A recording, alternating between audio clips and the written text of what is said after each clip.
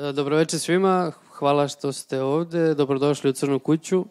E, Večera smo ovde zato što promovišemo novi broj časopisa Stvar, osmi broj, jel te? Malo smo ovako u slavljeničkoj atmosferi, pa ne zamerite ako nemate svi mesta za sedenje i slično, ali evo sada ćemo još stolica doneti. E, Večera su sa nama veći deo uredništva, jel? I najveći deo zapravo.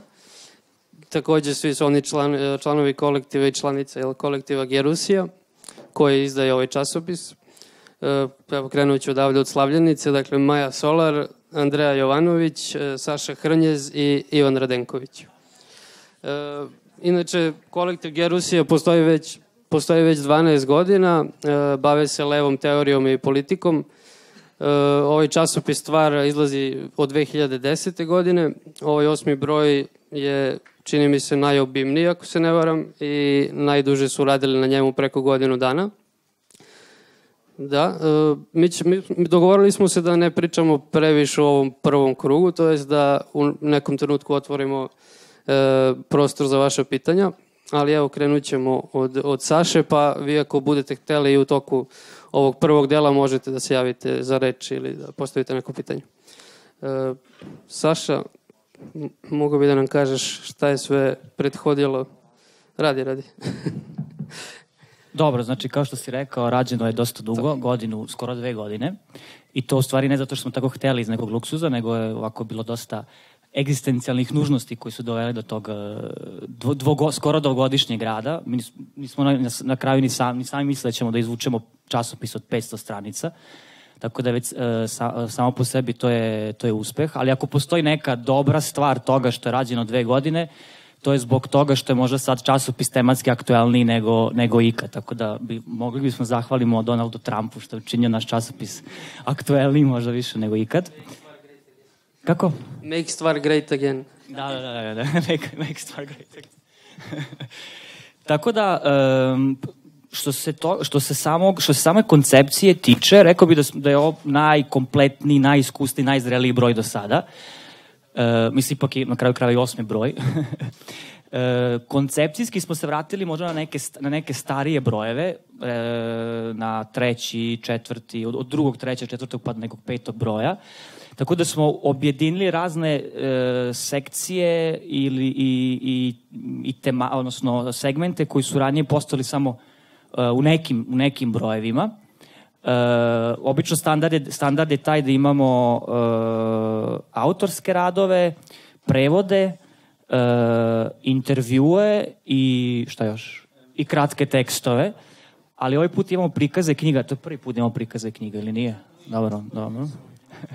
Ali prvi put imamo e, sekciju mišljenja gde je jedan autor predstavljen i razgovorom sa njim i njegovim autorskim tekstom. Uh, i autor je, da, da, taj autor je Darko Suvin, uh, mak, krit, ma- mark, marksista i kritiča, književni krit, kritič, uh, teoretičar književnosti. Uh, I šta još tu novo? Da, imamo uh, prozne, odnosno književnu sekciju, prozne zapise Bojanove, Bojana Krivokapića. Uh, I to je, stvari, imali smo u prvom broju smo imali, uh, da, da, tako da smo neki način objedinili objedinili mnoge stvari koje su postale ranije samo, uh, samo u segmentima, a to kako smo se vratili nekim ranijim brojima, možda najbolje je pokazatelj uh, dizajn, vizualni dizajn i naslovnica uh, stvari. Uh, dakle, imali smo od, od nekog drugog, trećeg broja te e, naslovnice koje su same po sebi jedna, jedan koncept, jedna, jedna, ili imali, ima određenu naraciju, da tako kažem, tako da su naslovnice koje ne trebaju samo da se gledaju, nego i da se čitaju. Tako i na ovoj naslovnici imamo na prednjoj strani, ne znam da ste uspeli da vidite možda e, na, on, online ili ako, a vidjet ćete u svakom slučaju kasnije kad dobijete svoj primjerak. E, na naslovnoj strani imamo ove pustinske nesrećnike, očajnike koji pokušavaju da prebegnu na poleđinu časopisa gde ih čeka kapitalizam, krv, e, biznismeni, vojska i sve ono što je neki način naša svakodnevnica ili, ili, ili bliska budućnost. A najzanimljiviji deo ove naslovnice je ovaj deo koji je inače skroz kontingentan. to, je, ri- to je rikna, nisam za... koji, je urađen, koji je urađen kao zid. Uh, ja mislim da je ovo najgenijalnija upotreba rikne u istoriji štampanog materijala, pošto da se Ivan se smeje, pošto je njegova ideja vila, uh, koji je rođen kao zid, dakle, to je iz zi, koji oni, da, koji oni, koji oni, koji ovi subjekti sa, sa naslovne, sa prednje strane pokušavaju da preskoče. Tako da je sam taj naj, naj, kako najnebitniji deo časopisa iskorišćen i u stvari to može čak i suština, jer nas on direktno uvodi u samu temu, u temu fašizma i e, u tome je aktuelnost e, ovog broja, pošto stvar je možda slika ili figura koja najupečatljivije rezimira ono što se dešavalo u poslednje dve godine tokom kojih je nastaje ovaj, e, ovaj broj sa svim ovim e, zidovima koji su podignuti što u regionu, što u okruženju, što po svetu i koji predstavljaju brana protiv e, imigranata, brana protiv e, kojim se kapitali, kapitalizam e, brani od imigranata koje uzgred budi rečeno sam e, proizveo kao imigrante.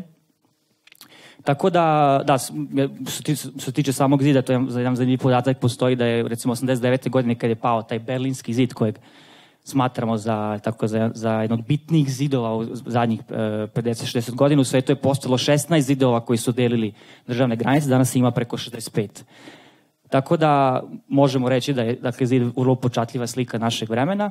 I pitanje koje možemo da postavimo da li je ta politika podizanja zidova na državnim granicama jedna nova politika, jedna politika novog oblika fašizma, da li je pitanje novi oblik fašizma.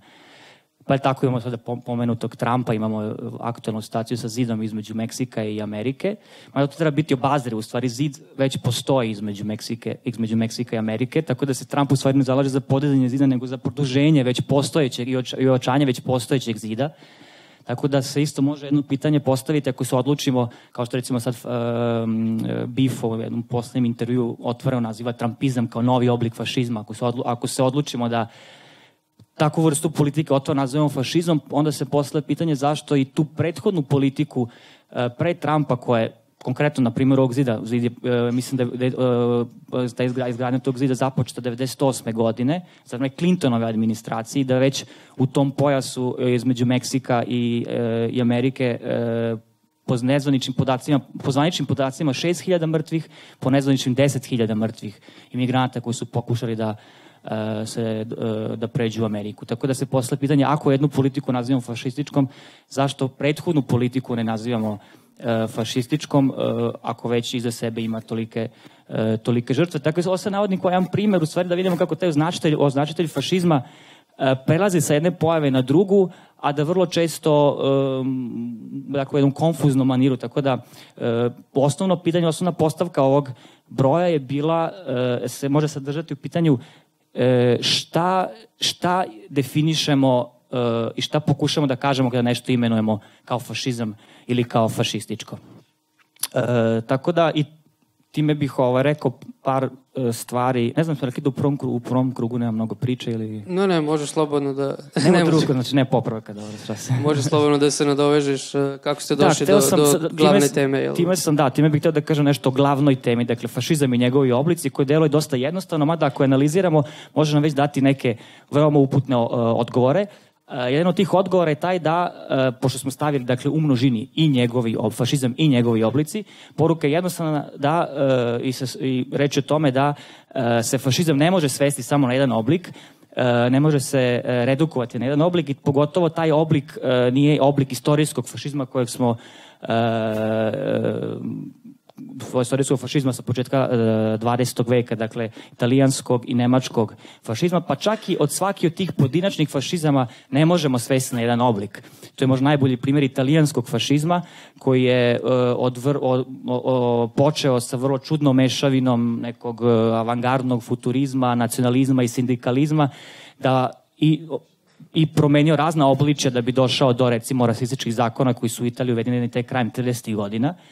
Pa recimo i prva Mussolinijeva vlada iz 21. ili 22. godine bila jedna izrazito liberalna, ekonomski izrazito liberalna vlada.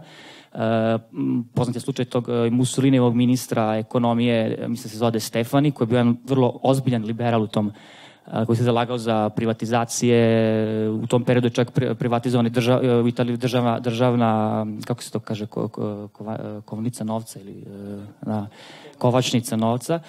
Tako da, da postoji u Srbiji e, tak, Mussolini, ta, taj, tak, tako osoba verovatno bi ozbiljan kandidat i za, za postojeću vladu, pošto je. O, sve ovo govorimo upravo da, e, zbog toga da ne možemo da, da redukujemo e, fašizam, ni taj istorijski samo jedan oblik. I možemo reći da je u prirodi samog fašizma da se javlja u više oblika. Dakle, e, prirodi samog fašizma je da se manifestuje u, e, u mnoštvu različitih oblika koji na izgled između sebe nemaju, nemaju možda nikakvih dodanih tačaka ili, ili, uh, ili, ili je to vrlo teško uočiti.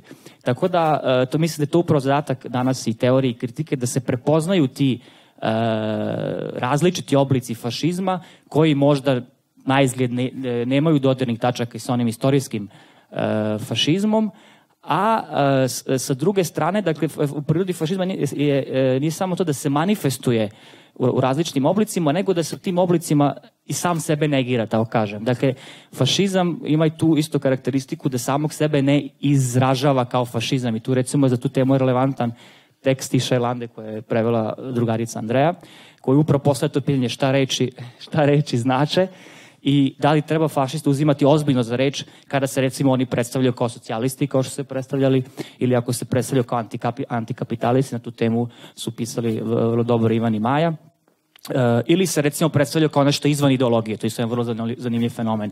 Tako da fašizam se javlja nekoliko svojih oblika i ima tu tendenciju da samog sebe negira kao fašizam u tim oblicima i upravo isto jedan zadatak teorije kritike da prepozna uh, prepoznate oblike. E sad, e, da i tu, ako, a, ako pođemo od toga, onda je osnovno pitanje u stvari, ako znamo da se fašizam manifestuje u, u, u različitim oblicima, koja je to onda determinanta ili konstantna, konstanta, koja je to um, abstraktna logika ili koje su to zajedničke crte na osnovu kojih mi možemo reći da su svi ti oblici fašizma fašizam u jednini. Tako da je to u stvari najteže pitanje i možda pitanje koje se provlači kroz sve, uh, kroz uh, sve ili kroz većinu uh, tekstova. I ono što je poruka neke, ako bismo mogli izvučemo neki zaključak iz, iz, iz, iz ovog broja, to je da ako želimo da shvatimo tu, tu zajedničku crtu ili zajedničku logiku, zajednički menitelj svih tih fašizama, ne, jednostavno moramo da uh, se bavimo samim kapitalizmom, u smislu moramo da se bavimo uh, uh, kapitalističkim uzorc, uzor, uzorcima tih oblika.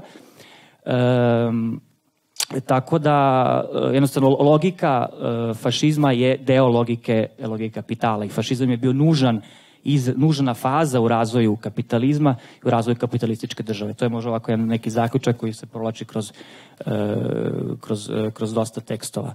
E, e sad, um, da, recimo, ako bismo još pokušali da odredimo e, zajednički menitelj ili jednu, ili da kažem, naj, najopštiju crtu Uh, najopštiju crtu uh, šta je to po kojoj možemo da definišemo šta je to fašizam možemo da kažemo recimo uh, iskoristimo termin kontrarevolucije ili, ili uh, preventivne kontrarevolucije ili fašizam kao odgovor na revoluciju koja se nije dogodila ili imamo ono Benjaminovo da je fašizam uh, izraz za propalu revoluciju. E sad, koliko, ja mislim da je to zaista uputno da bismo razumeli istorijske oblike fašizma, jer ipak ni slučajno da, da, je, da je fašizam nastao u Italiji, u Nemačkoj, Nemačkoj 20. 30. godine, koji znači u zemljama koje su, u kome je postao vrlo snažan radnički pokret, i e, u Nemačkoj koja je postala Bavarska republika, dakle u Italiji koja je postala e, vrlo snažna komunistička partija, dakle da baš u tim zemljama se e, desi fašizam i nacionalsocijalizam. Ali pitanje je da li mi danas možemo da iskoristimo tu istu formulu, jer danas ne samo što nemamo e, poku, e, propale revolucije, nego nemamo čak ni pokušaje revolucije, tako da je pitanje na šta to odgovara i ta, e, taj novi fašizam i ta nova fašizacija. Koje je to opasnost? Realno opasnosti mislim da ih nema mnogo. Čak ako pogledamo ovo što se dešavalo, e, nažalost ih nema mnogo. Ako, se, ako, ako pogledamo ovo što se dešavalo recimo u, um, u Grčkoj i u, um, i u Španiji, gde sigurno se ne radi o pokušaju revolucije, ali ajde, ba, ajde barem u nekakvom takvom pokušaju otpora neoliberalizmu, Da li tu imamo povećanu fašizaciju? Pa ne bih rekao nešto više nego možda u nekim drugim zemljama. Danas obično je pažnju usmjera na centar, na zemlje centra, na Francusku, na Veliku Britaniju uh, i na kraju krajeva na, i na, do Trumpovu Ameriku. Tako da uh, sve su to neke poteškoće u razumevanju toga šta su danas novi oblici fašizma. Ono što je neminovno je da bismo razumeli te nove oblike fašizma i moramo da, da se bavimo starim, moramo da razumemo stare. Ali opet formule koje nam nude stari oblici fašizma nisu dovoljne da razumemo nove. Tako da je jedna vrlo, vrlo kompleksna, vrlo kompleksna situacija e, i mislim ovaj broj u stvari nam pokušaj da se e, pokuša se u toj pojmovnoj borbi stvari odu malo dalje od uobičajenog pamfletskog ili klišeiziranog tumačenja fašizma. E, tako da e, tako da tako da to je to, ne znam da. da. Hvala. Andreja, ovaj, da, ti si na redu. Mislim, Saša je već malo zagrebao jel, tvoje polje, ali uh, mogli bi da nam kažeš kako možemo gledati jel, na fašizam i antifašizam danas, jel, mislim, generalno u, u svetlu ovih dešavanja, ne samo ove godine, već i možda malo ranije. Prvo, hvala vam što ste došli u velikom broju zbog uh, Maja, a onda usput i zbog stvari. Ove, jako, jako sam srećna zbog toga. Ove, ja ću se nadovezati u principu na, na ovo što je Saša u ali manje više se i on doticao toga sve vreme. Dakle, nama ideja nije bila nekakav e, nauka zarad nauke sad da uzmemo i da istražujemo istorijske oblike fašizma, eto, čisto da bismo e, ovaj, videli šta se to zapravo desilo. Mislim, stvar jeste časopis za teorijske prakse i njen, e, kako da kažem, cilj je uvek da problematizuje nešto što ima i što može da se ne primeni u onom banalnom smislu, reduktivnom, ali što može da posluži za razumevanje i aktualnih situacija. I u tom smislu sve ove tekstove, pa čak i tekstove koji se bave istorijskim, e, odnosno 20-vekovnim oblicima fašizma, treba razumeti i u svetlu, i u svetlu ovoga danas.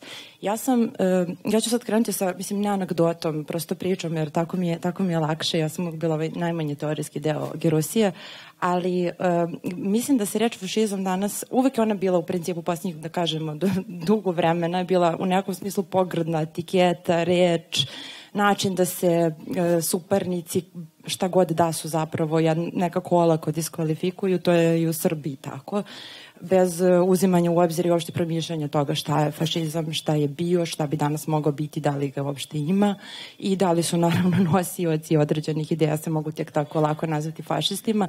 Međutim, sa, sa dolaskom Trumpa na vlasti i već u samoj kampanji to, ta tendencija mislim da, da zadobila neke jako perverzne ovaj, oblike, tako da e, poslednje što sam videla što bi bio možda neki najveći primer toga je, ne sjećam se koji je tačno sajt u pitanju američki, ali dosta je čitan i veliki je, imao je naslov da li je Trump fašista i onda je Trump rangiran po jako provizornim označiteljima po kojima objektivno bilo ko od nas može biti, ne znam, rangiran, tipa kako se odnosite prema ženama, da li ste živčan čovek, da li, mislim, tako neke baš onako ad hoc uzete stvari po kojima bi verovatno svako od nas bio fašista u nekoj meri, manjoj ili većoj.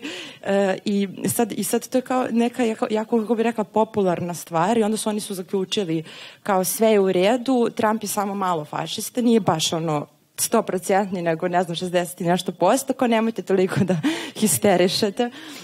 Ali, mislim, ta reč histerija, pored toga što ima svoje patriarhalno poreklo koje neću sad ulaziti, mi je jako zgodna za ono što se sada dešava sa kvazi antifašističkim reakcijama širom sveta na kvazi fašizam Donalda Trumpa. Ove, ovaj, teško da je bi ovaj, naravnosti playboy mogao biti fašista, ali ovaj, u svakom slučaju e, ta histerija me jako važna zato što mislim da, da e, e, je po, po, povukla sa sobom brojna pitanja od kojih je meni konkretno jako zanimljivo bilo i stvar se dosta bavila tim pitanjem, a to je ko su subjekti fašizma pored jel te, njihovih političkih nosioca.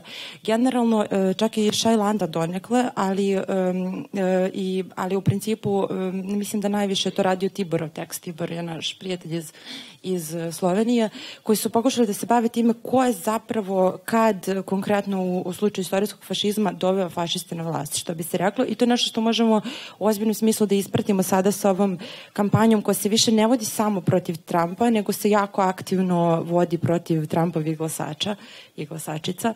Ja sam konkretno pisala tekst u, u kontekstu Melanije Trump o, tom, o toj um, ženskoj strani te priče, to osuđivanju takozvanih belih srednjoklasnih žena koje su glasale za Trumpa od strane, jel te, feminističkih pokreta u, u, Americi, ali to pitanje je jako važno. Dakle, koje klase, ako bismo išli, išli na, na marksistički diskurs, koje klase su nosioci um, ili većinski nosioci uh, glasača ili, ili uh, nekih tendencija ka takozvanom fašizmu i to se, kao što se rekla danas, uh, jako, jako ozbiljno svuda poleče. I to pitanje nije vezano samo za Ameriku, isto je i u slučaju Marine Le Pen u Francuskoj u krajnjoj liniji je u slučaju kod nas danas. Iako Vučić ovaj, bi se mogo nazvati o karakterisati raznim imenima, nisam sigurna da bismo ga mogli zvati fašistom samo zbog cenzure medija, ali, ovaj, uh, ali je isto pitanje kako je dovoljno nenormalan, glup, fašisoidan, autoritaran da glasa za Aleksandra Vučića. To pitanje je važno zato što ovaj, ono nas upućuje na, na jedno drugo starije pitanje koje je još u, u ovaj, pokušajima da se razume istorijski fašizam bilo, bilo bitno, a to je da li mi ga možemo analizirati onako kako je nažalost ortodoksni i tradicionalni marksizam umeo to da radi, a to je bilo jako reduktivno, dakle prosto zanemarile bi se sve specifičnosti fašizma, on bi se prozvao nekakvim naj, kako bih rekla, najekstremnijim oblikom kapitalizma, finansijskog kapitalizma, kako god hoćete, da, i najreakcionarnijeg Evo, ima, imamo razne epitete i ovaj, onda bi sve drugo bilo jako irelevantno, prosto to je eto tako. E, I naravno druga tendencija jako brzo se su pojavile reakcije na, na ovaj vulgarni marksizam, nekad su dolazile i od strane dobrog marksizma, ali nažalost dominantnije su bile ove koje su dolazile iz takozvanih poststrukturalističkih tendencija koje su pokušavale na to pitanje da odgovore tako što su um, fašizam apsolutno abstrahovao njegovih uslovno rečeno materijalnih korenama, da ne volimo ovo reč materijalnih, hajde da kažemo društvenih u nekom smislu, a, i pro, proglašavala ga čistom ideologijom, diskurzivnim praksama, određenim e, različitim stvarima koje su onda pak potpuno zanemarile ovaj, ovaj takozvani materijalni ekonomski moment i to su nekakva dva ekstrema u kojima mi dan danas u principu ovaj, funkcionišemo. Najčešće, naj, i dalje je jako dominantni ovaj drugi, naravno, ovaj, ovaj etiketarski, postmoderni et, fašizam, ali je ali če, nažalost ne odgovaramo na njega dovoljno dobro time što se vraćamo na taj tradicionalni ortodoksni marksizam koji prosto to sve svede na nekakva ekonomska zbivanja. I mislim da je stvar upravo ova stvar bila pokušaj i da se ta e, lažna dihotomija prevaziće i da se ponudi nekakvo e, naučno objašnjenje koje bi uzelo sve faktore u obzir. U tom, u, tom, u tom smislu, samo da okrenem, ovo sam malo prispisala šta će da priča.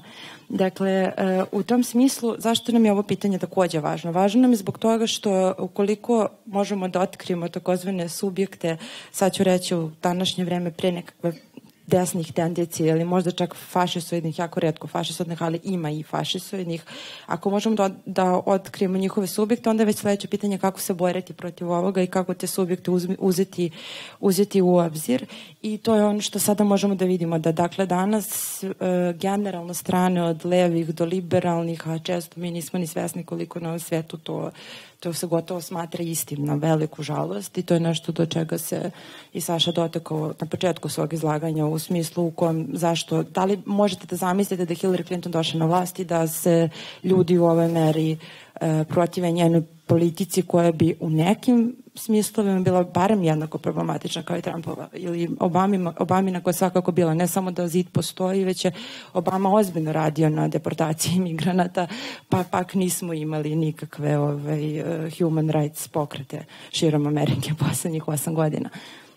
Tako da, e, a, i sad, čemu se zapravo radi? E, ja, bila sam jedna od tribina koja je pokušavala da se baš pozabavi, eto ti pitanjem ko je glasao za Donalda Trumpa, tim fetiš cool pitanjima, da li je Trump fašista, ko je zaglasao za njega i onda su utvrdili da, da po toj, ako se merimo po strati, a to je u principu visina primanja, e, najsiromašniji slojevi u, u Americi zapravo nisu glasali za Trumpa, glasali su ovi sledeći i onda je to bilo dovoljno određenim levim strujem čujemo u Srbiji da zaključe da radnička klasa nije glasala za Trumpa, nažalost, ovi sledeći su zapravo manje više često sindikalni organizovani, sindikalni organizovani radnici koji zbog toga imaju veće plate jer su zapravo članovi sindikata zaštićeni su i dalje su svakako deo radničke klase i u nekom određenom smislu najviše su udareni ili najneposrednije su udareni različitim neoliberalnim merama koje se dešavaju i na koje Trump navodno trebalo da predstavlja određenu vrstu odgovora.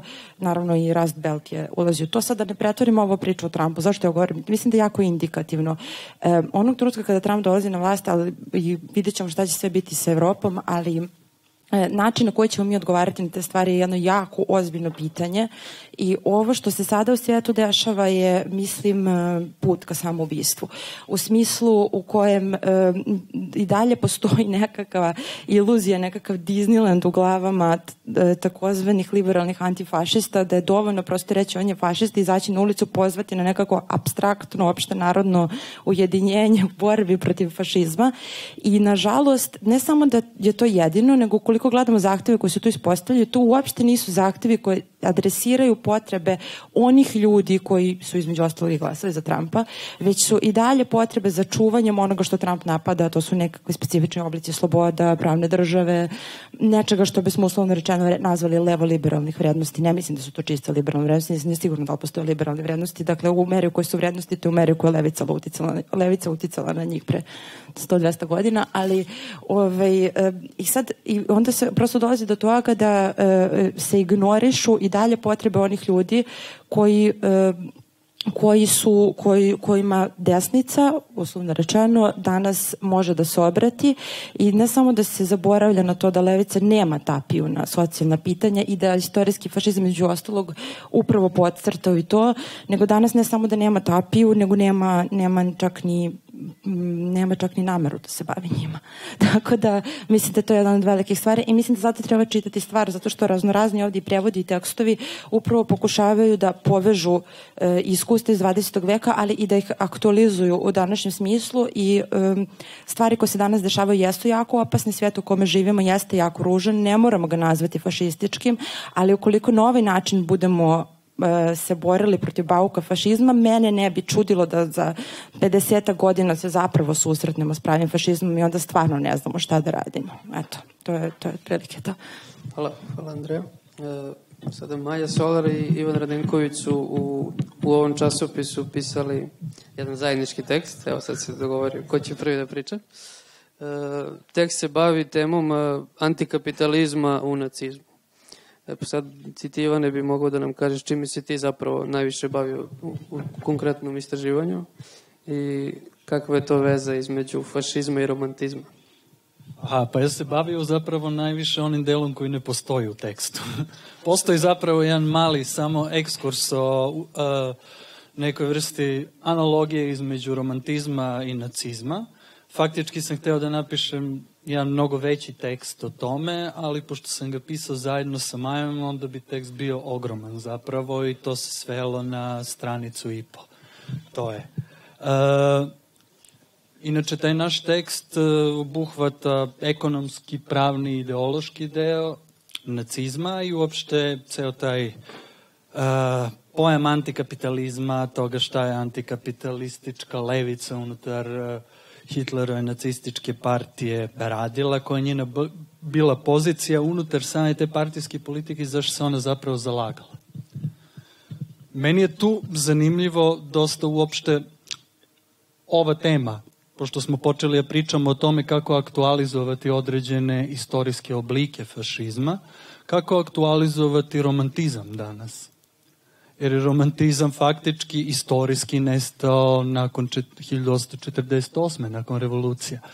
I, i faktički postoje ono što je na neki način preraslo iz tog romantizma je postao jedan uh, vrlo agresivni, imperialistički uh, moment koji je na kraju Bismarck zapravo započeo i glavni ideolozi tog imperializma su sve ono što su u Nemačkoj naziva nemačka građanska filozofija, koliko god nam to bilo čudno, tu je i Max Weber, jedan od ljudi koji inače isto bio, ako hoćemo uslovno da kažemo, popriličan fašista, koji ono zapravo prezirao Poljake. To čak možete videti uh, u objavljenom službeni glasnik je objavio ovde njegove političke spise, to su zapravo njegovi članci koji nemaju veze s njegovim kapitalnim delima zbog kojih je on poznat. Čini mi se da je to vrlo simptomatična stvar. Hteo bih samo možda par vrlo šematskih stvari da kažem, zato što je polje uh, romantizma, polje nacizma, uh, vrlo heterogeno polje. Romantizam je isto vrlo heterogen pokret, zato što faktički uh, ne pokriva samo sferu filozofije, postoji nešto što se zove politički romantizam, o tome je pisao Karl Schmitt. U političkom romantizmu su, na primjer, glavni predstavnici Frank Miller, koji je bio neka vrsta Metternichovog potrčka, zapravo uh, osoba koja je, koja, je, koja je izbacila nešto što se zove državna teorija novca ili tako dalje, što je jako interesantno. E, postoji, znači, književnost s jedne strane, nije samo specifično nemački fenomen, naravno, prvenstveno engleski, ali ono što bih hteo da naglasim jeste zapravo ono što, što, što sam ja podvukao kao neku vrstu paralele, više analogija nego identitet između romantizma i nacizma se odnosi na reakcionarnost, na reakcionarnu prirodu uh, uh, te ideologije.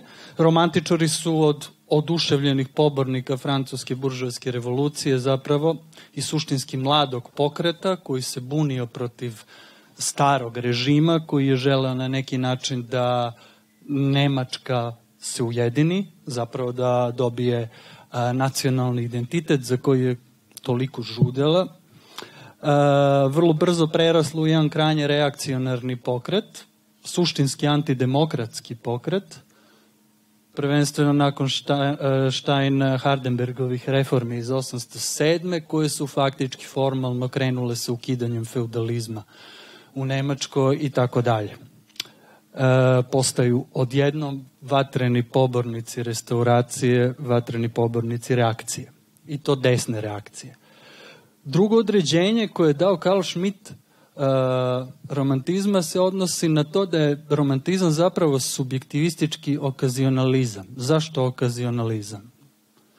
Zato što po Karl Schmittu okazionalizam se odnosi na ono učenje koje realnom svetu oduzima bilo kakvu uzročno posledičnu povezanost. Zapravo ono potiče iz Malbranšovog učenja o tome da je Bog zapravo jedan jedini uzrok i da je on zapravo u poziciji lutkara koji sve procese u svetu koji su suštinski slučajni, kontingentni, akcidentalni, zapravo svoju produktivnost, svoju volju zapravo ostvaruje kroz svet.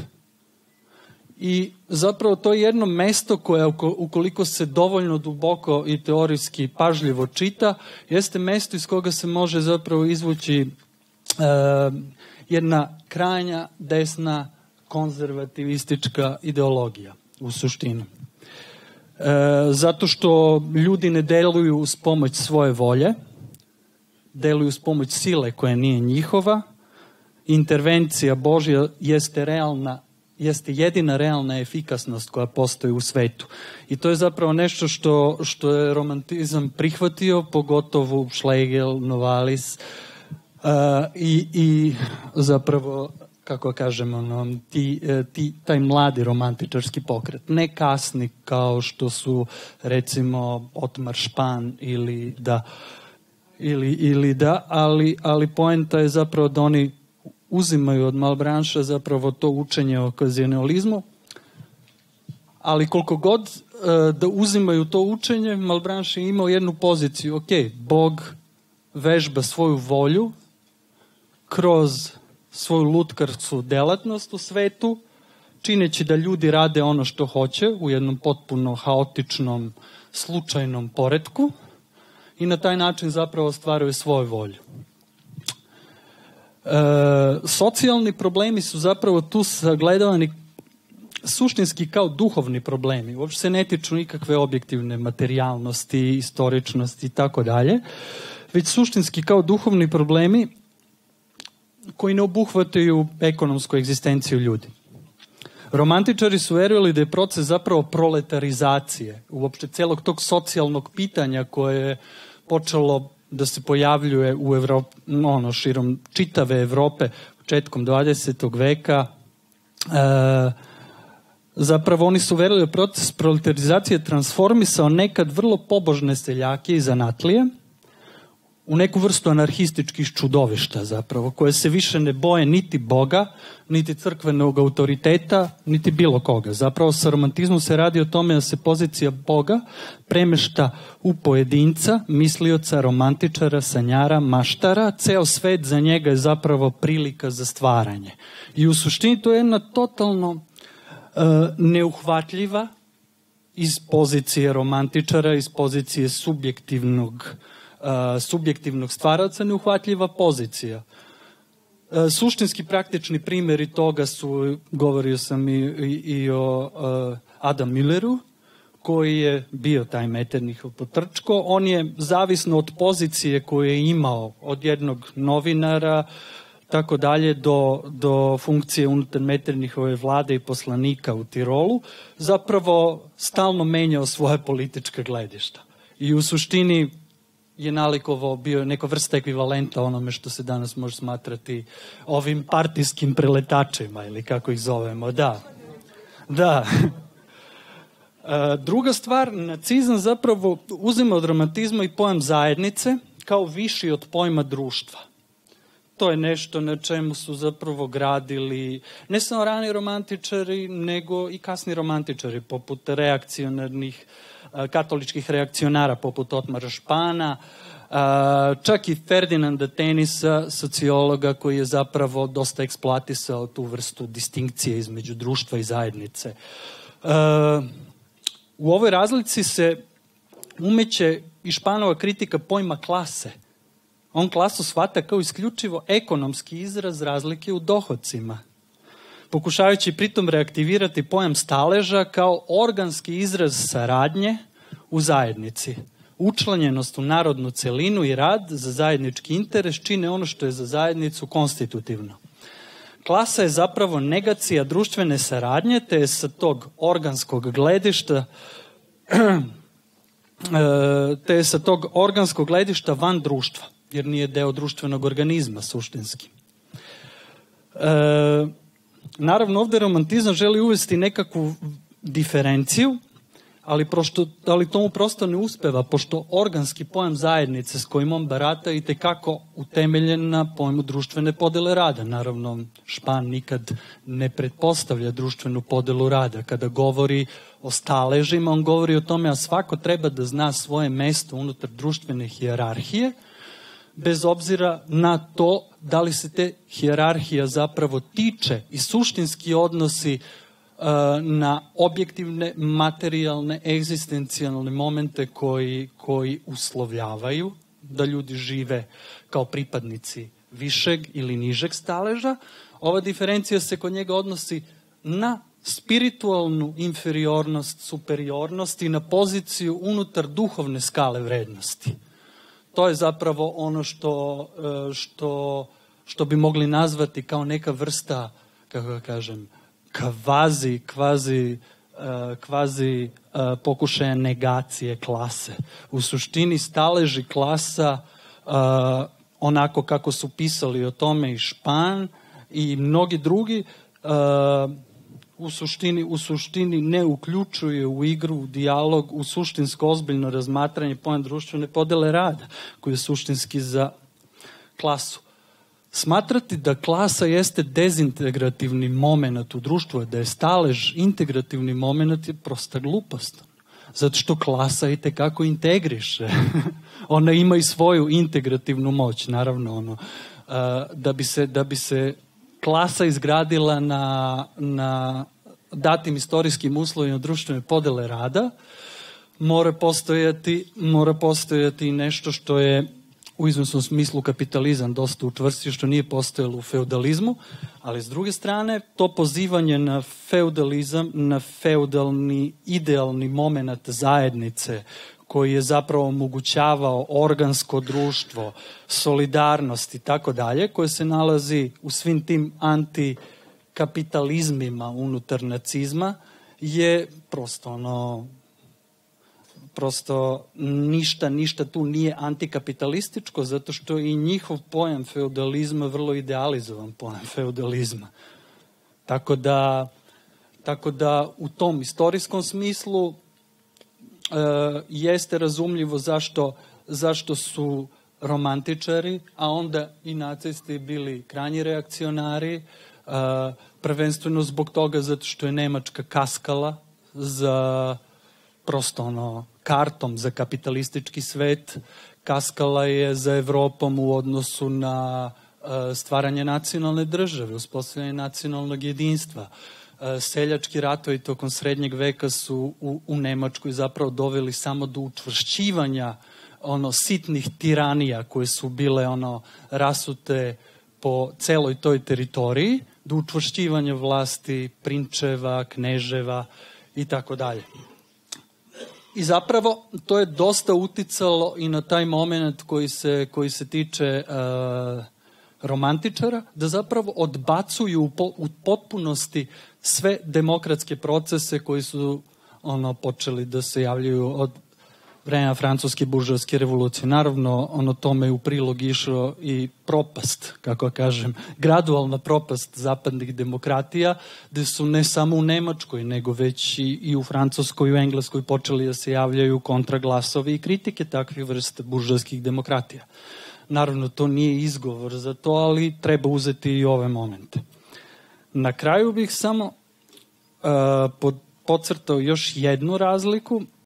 Kod romantičara se prošlost uzima zapravo kao fundament za sadašnjost.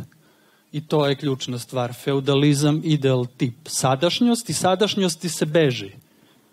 Tačnije, sadašnjost nije u stanju da omogući puni smisao. Ono za čime romantičari tragaju je ta idealna tačka punog smisla, sadašnjost vrvi od potencija, sve te potencije nije moguće uh, reflektovati istovremeno, bar u filozofiji kad Novalis piše o tome, Schlegel i tako dalje, naći ćemo u stvari ovaj moment da, da je ono što je zapravo fundament prošlost. Novalis je pisao kako danas živimo od plodova nekih boljih vremena, Adam Miller kaže da danas trošimo kapital naših očeva. Može se činiti kako se u današnjem političkom behavioralnom miljevu ne radi o tome da se romantičarski idealizuje prošlost kao fundament sadašnjosti, koliko budućnost koja automatski sledi iz sadašnjeg prekida sa prošlošću. I to je, na primjer, meni jako interesantno da li bi mogao a, romantičarski diskurs, romantičarska ideologija da se primeni na sadašnju situaciju. Kad sam ovo rekao, upravo znači to. Pogledajte Vučića kao paradigmatičan primer. Neko ko kada govori o sadašnjosti, govori to samo u defanzivi. U defanzivi zbog toga što su prethodne i one vlasti ostavile to što jesu. Kada govori o idealnom zapravo, kada želi da afirmiše svoju politiku, on govori o jednoj vrlo neodređenoj budućnosti.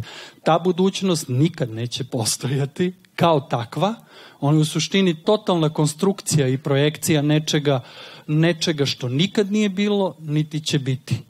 I to je možda vrlo simptomatična stvar da se ta, ta neka vrsta reverznog romantizma može, može ugraditi u, u, današnje, u današnje političke diskurse koji su, kao kažem, vrlo, vrlo simptomatični.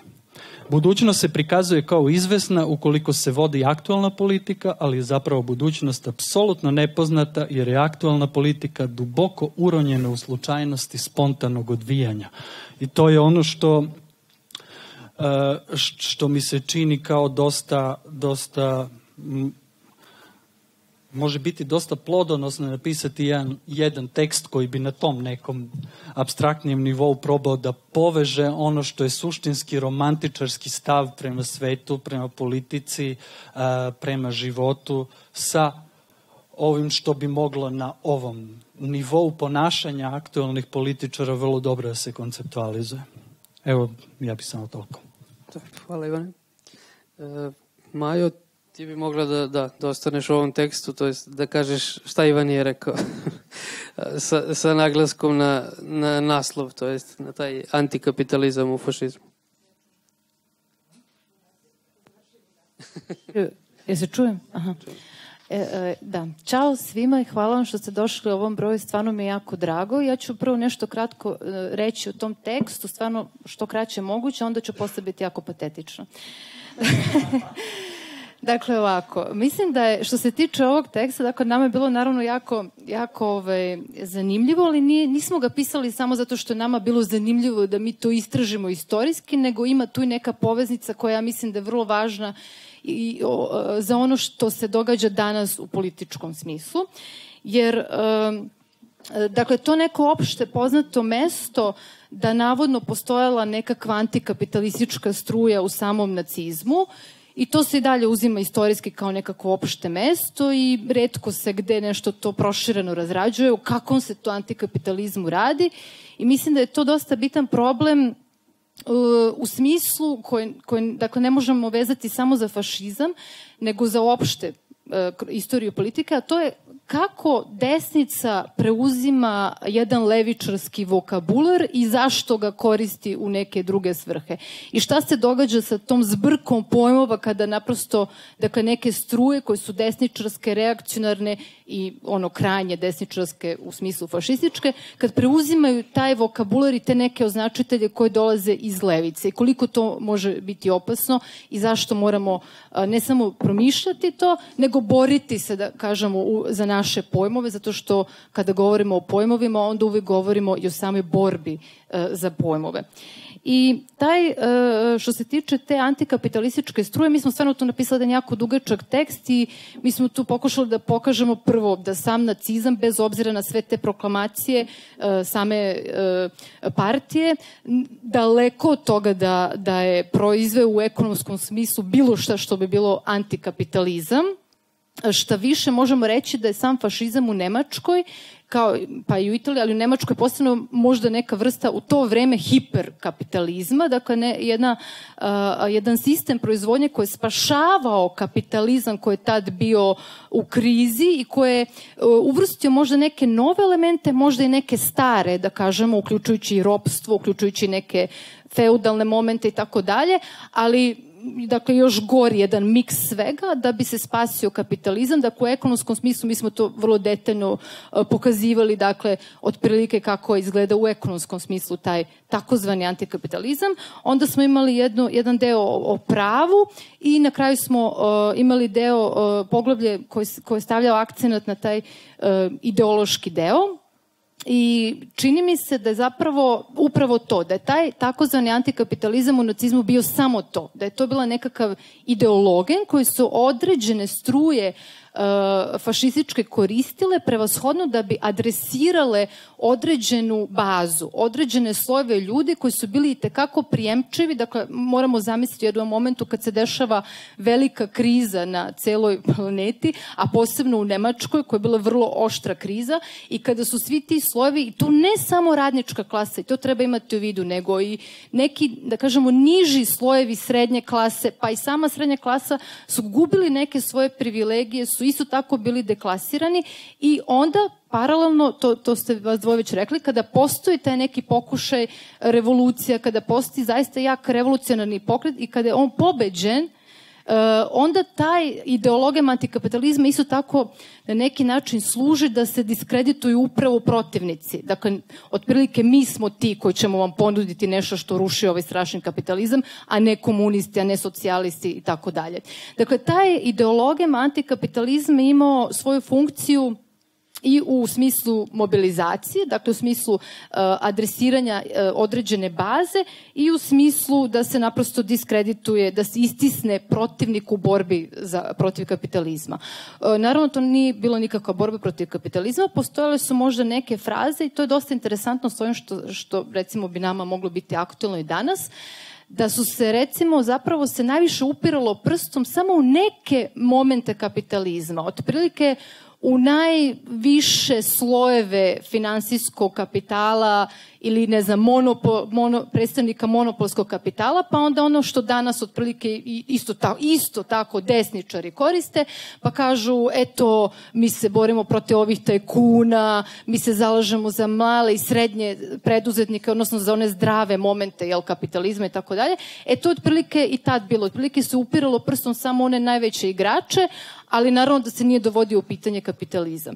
E sad, to je naravno drugi problem je što je sam antikapitalizam, mislim, vrlo problematičan pojam po sebi jer je naprosto negativno određen pojam i ne kaže nam ništa, jer kad kažete antikapitalizam, ok, protiv kapitalizma, ali u kom pravcu nemamo pojma. Da li u pravcu socijalizma, da li u pravcu nekog novog ropskog sistema, nekog novog feudalizma ili nešto deseto, mi nemamo pojma u kom pravcu ide to antikapitalizam. Tako da bi ja da se stvari ipak nazovu pravim imenom i ono pozitivno određenje, a to antikapitalizam je vrlo široko. I drugo što mislim da je bitno da, da zašto ponovo govoriti o tome, zato što nažalost, i to već sam rekla, da uvek se borimo za pojmove i nekad nam se čini da neke borbe koje smo već izborili, da je to to, ali onda nažalost se desi da ih moramo ponovo boriti stalno iznova i to je naprosto tako. E tako se može čini da u nekom momentu, barem je tako izgledalo u 20. veku, da ove doktrine o totalitarizmu da su barem teorijski kao naprosto bile u nekom momentu poražene, da, da smo to argumentovano dokazali da su one pogrešne, ali nažalost nisu, a pogotovo da ne samo teorijski, nego politički to znamo, da, da dan danas dominiraju te teorije o totalitarizmu koje otprilike pokušavaju da izjednače fašizam i socijalizam, da ih svedu na istu ravan kao dva oblika totalitarizma I to nije samo politički diskurs. Danas ja mislim da to opet i u teoriji se javlja. Mi iznova moramo voditi tu borbu i u tom smislu zapravo i ovaj termin antikapitalizma i prikazivati fašizam kao neku vrstu ili delimično nekog antikapitalizma ili ne znam, akcentovati stalno da su i Mussolini i Hitler došli iz, ne, iz socijalizma kako god i ovaj, mislim da stalno moramo dokazivati šta to znači, kakav je to socijalizam, kakav je to antikapitalizam, da bismo razlučili otprilike uh, uh, pojmove koji su nama bitni. Dakle, čitaćete to, dosta je dugačak tekst, ne bi više o tome. Uh, ja bi ovako, samo još nekoliko stvari vezano za samu stvar. Uh, dakle, prvo bih htjela da se zaista, mislim, svi mi, da se zahvalimo svim ljudima i svim autorkama i svim autorima i svim ilustratorkama i ilustratorima i prevoditeljicama i prevoditeljima koji su doprinjeli ovoj stvari. Ovo je stvarno, ne znam kako to sad dovoljno da pojasnim ko je to ogroman nivo zahvalnosti, zato što uh, Prvo, mi nemamo nikakve honorare, mi više nismo NGO inače, to je najnovija stvar, ali već godinu i po dana nemamo nikakve honorare, mislim i pre nešto, bog zna šta nismo imali, ali nemamo nikakve honorare, dakle niko nije dobio ni za šta honorar i zaista je teško pisati u takvim uslovima i zaista je nevrovatno da su nam opšte ljudi slali tekstove i pristali da, da pošalju tekst bez nekakve kompenzacije.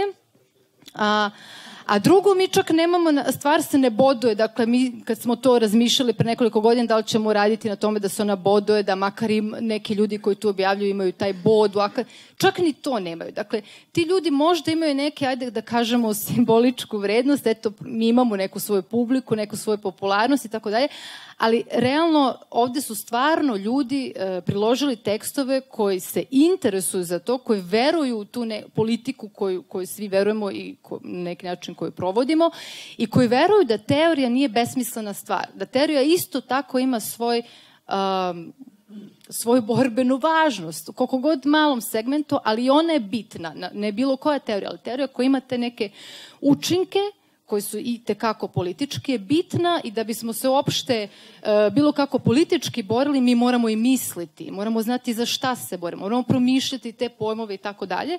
Tako da e, to su, ja mislim, to se vidi. Svi tekstovi koji su ovde priloženi uh, su zaista ljudi koji veruju te stvari i zaista im najviše na svetu hvala. Mislim, tu od imena koje su svetske face, kao, ne znam, Darko Suvin ili uh, velika imena kao što su Alper Lošonc, kojeg možemo slobodno reći da je naš, naš prisvajamo ga, Gerusijanac, koji uvijek prilaže tekstove i tako dalje, do svi naši drugovi, drugarice i, i, iz Gerusije i koji su bili u Gerusiji i tako dalje i koji podržavaju i dakle to je, to je dakle, sada da ne čitam sva imena, vidjet ćete, dakle, to, to je zaista velika stvar da su ljudi prilagali tekstove znajući da neće imati od toga nikakvu kompenzaciju. Takođe ilustracija, mislim da je to isto važno navesti, da su tu uh, ljudi onako entuzijastično predla, pre, priložili te neke svoje ilustracije koje su nažalost zbog naravno jeftinije ovaj, jeftinijeg štampanja. Ovde u ovim štampanim primjercima su oni crno-bele, ali u ovom uh, PDF primjerku na internetu možete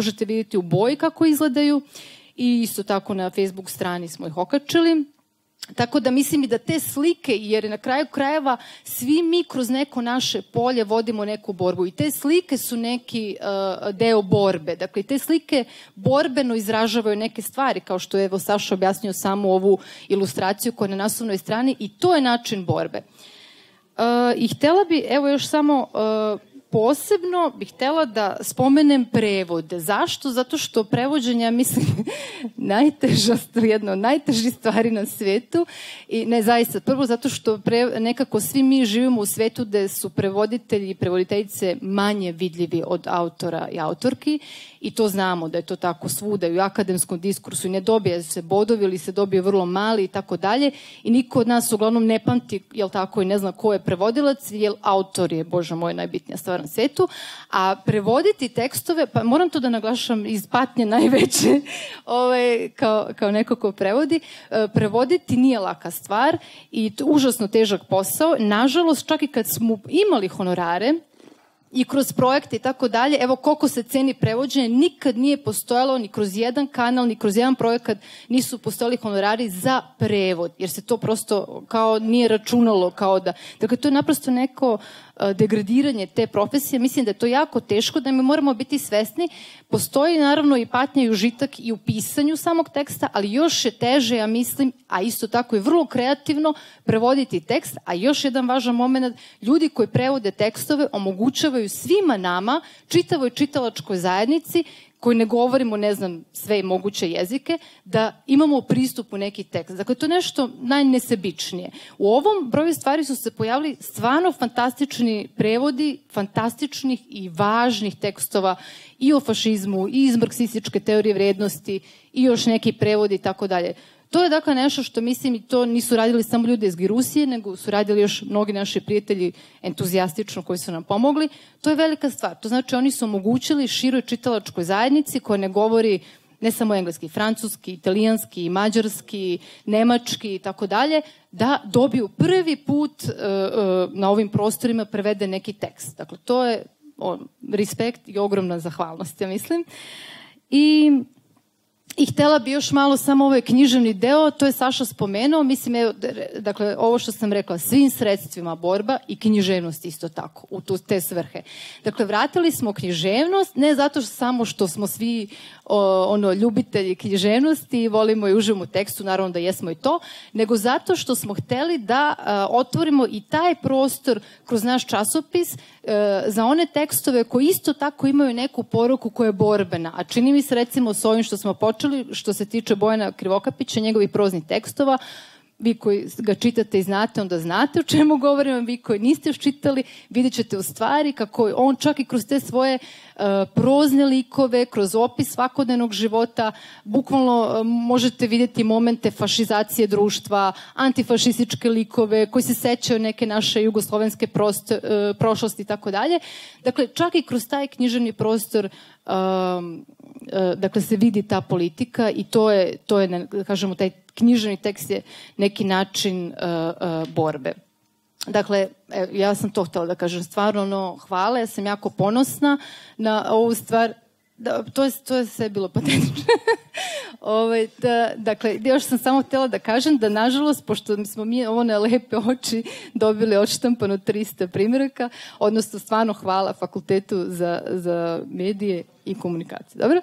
Uh, što su nam oštampili te primjerke, mislim, mi smo ih ovde poneli 48 ih još, ja mislim, imamo. Ako slučajno neko ne dobije neki primjerak, potrudit ćemo se nekako da, da u budućnosti vam dostavimo.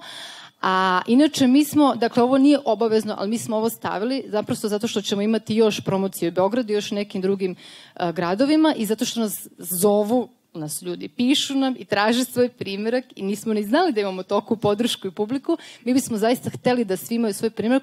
Dakle, ako, ako želite, možete donirati neki novac. Mi smo ovde postavili kutiju koliko želite, stvarno, nije, nije ništa obavezno. Mi ćemo skupljati novac da bismo doš, doštampavali još brojeva da bismo mogli ovaj, da, da delimo svima. Eto, hvala vam stvarno na svemu. Hvala tebi. E, ako neko ne dođe do svog primjerka, bit će u našoj infoteci, biblioteci koja se nalazi ovde iza backstage-a. Najbolje čuvana tajna crna kuća, postojanja infoteke. Tako da možete ovde pozajmiti ili čitati na licu mesta. E, Kaži, kaži. Da.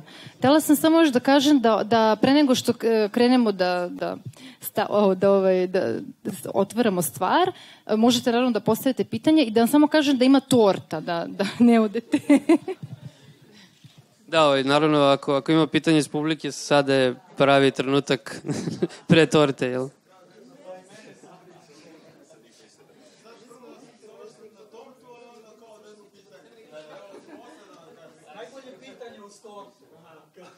Naravno, može i u ovom neformalnom delu, ostaćemo svakako svi neko vreme ovde u klubu.